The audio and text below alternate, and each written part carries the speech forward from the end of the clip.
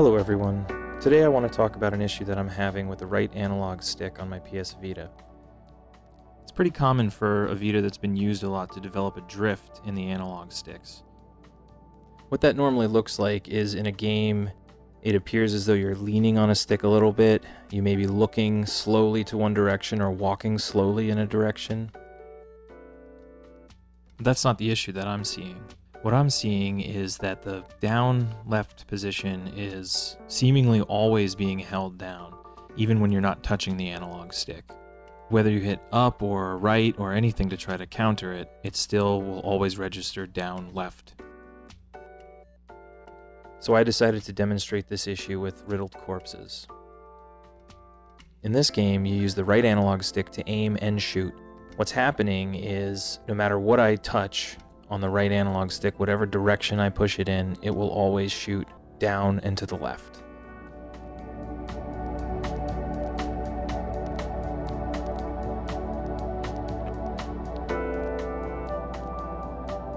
Alright, as I start the game up here, just notice that I'm not going to touch the right analog at all. And there I am, firing away. And all the other buttons seem to be working, so I don't think that there's anything with the connection to the motherboard that's screwing with all of the buttons on this side. I can pause the game. Uh, it's really just that analog stick. Yeah, the D-pad works. Alright, so I'm going to power it down now and we'll open it up and take a look. There's got to be something going on inside that'll stand out.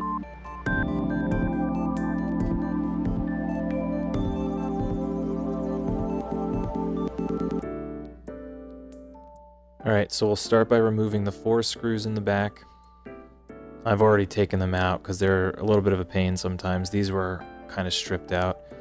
So you take those four out, and then there's also two on the bottom near the charge port that you'll want to remove as well. So before you try to pry the thing open, take a look in the memory card slot.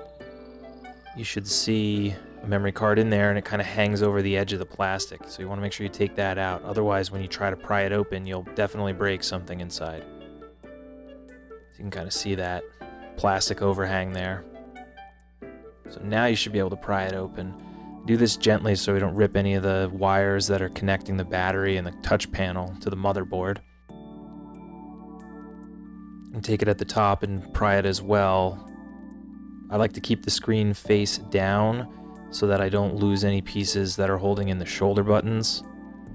Just kind of work my way around. There's no need to use a tool for this part. You can use your hands. once we get that open, you'll see there's a wire for the touchpad and for the battery. You lift up from the bottom and kind of push with your finger. And that'll pop the back right off. When you have it flipped over, you just want to make sure that you're looking at the right side. So, yep, this is the right analog stick. And I'll want to take a look at the ribbons that are connecting. There's one that connects the whole panel. There's one that connects the analog stick, and then there's one at the top that'll connect the shoulder button. Kind of pop those off very gently. They have these little plastic latches That'll help the ribbon stay in place, and then you can slide it out without putting any real pressure on it once the plastic is lifted up. And it just pops out like that. Yep, so now I can slide that right out.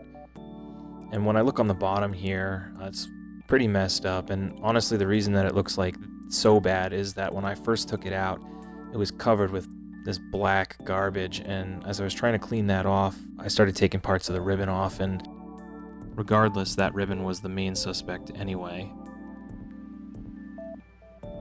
But first, let's take a look at the other parts that we might want to troubleshoot.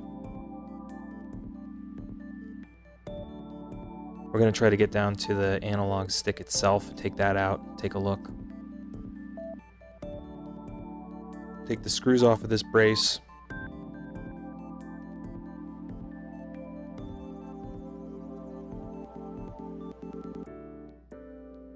we also want to make sure that these ribbons are disconnected.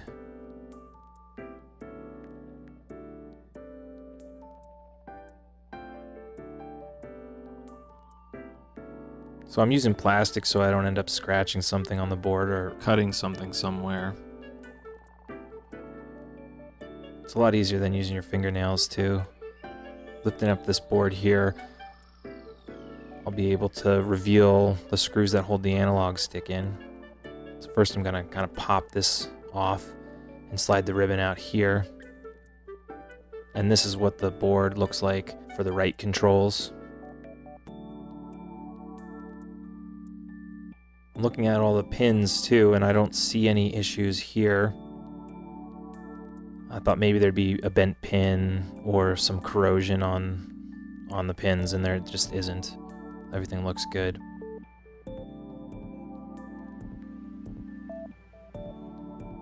Two screws that hold in the analog stick need to come out.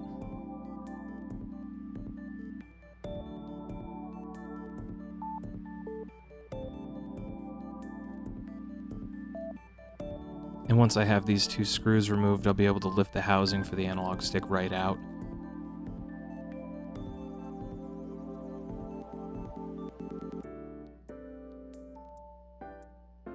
Alright, I'll move those aside so I don't lose them. So really the stick looks pretty good. It's a little dirty right here, but that's no way that's causing any issues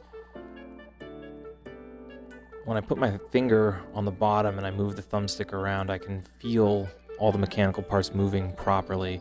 But I can take this plate off also and really see if the parts are moving properly. So I take a screwdriver and just pry these pieces a little bit. And this will loosen the plate from the bottom. And then I should be able to just slide it right off.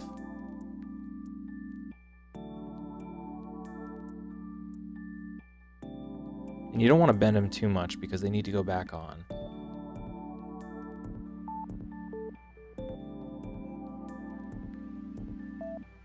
Alright, so let's get this one and then push the whole bottom. And now, when I take this off, I'm going to hold it upright so these little springs that are in here don't fall out. They're kind of secured, but they can fall. If I wiggle the stick around, I can see all the mechanical parts seem to be moving properly. Just to be sure, I took some rubbing alcohol, put it in there, worked it in, made sure it was good and dry before putting it back together, and I was still having issues.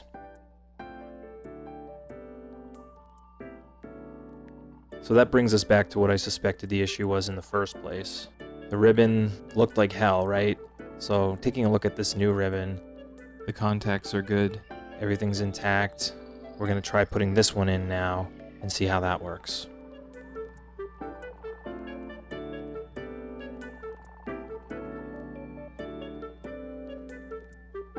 So first I'm going to reconnect the other ribbons.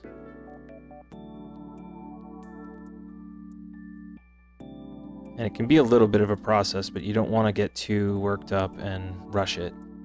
They can break pretty easily.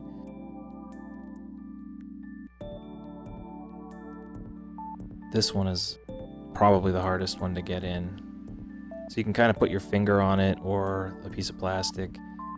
Just kind of push it a little bit gently. And then we'll take the new ribbon, slide in the part on the motherboard first that slides right in, and then same process with the other side.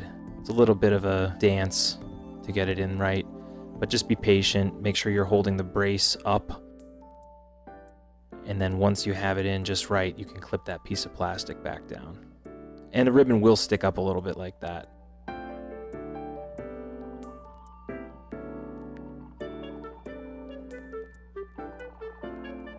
Alright, so let's put it back together and test it out then.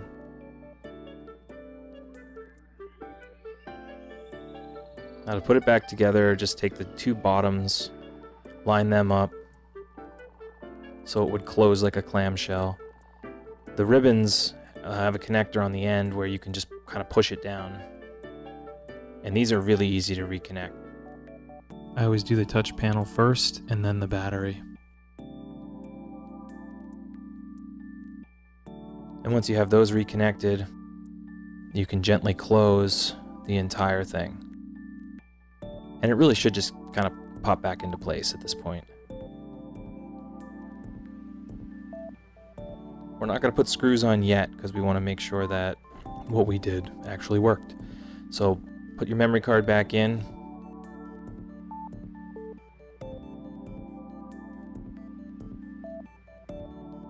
And let's fire it up.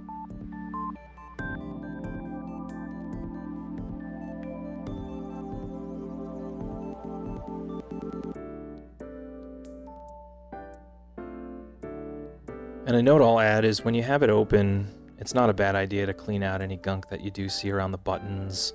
Uh, if you're having issues with the buttons mechanically pushing in and out, or if they don't seem to respond without pushing them hard or wiggling them, then you can always clean the contacts for those. I'm going to load up riddled corpses again.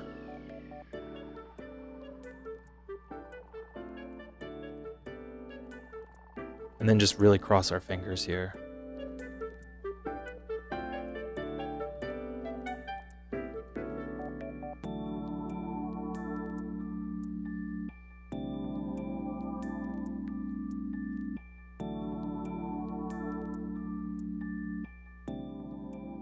Go through these menus.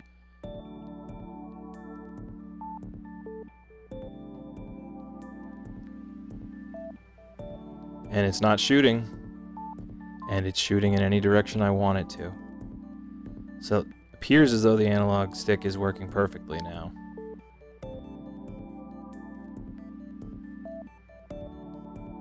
And all the other buttons seem to be working as well. I'm going to check that just because we replaced the ribbon that connects the motherboard to the entire right side. So I'll just make sure all those buttons do what they're supposed to do. Everything seems to be working great. Looks like we fixed the issue.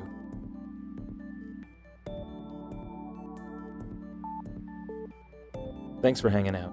If you like what I'm doing, don't forget to hit subscribe and let me know what you think in the comments. Until next time, take it easy.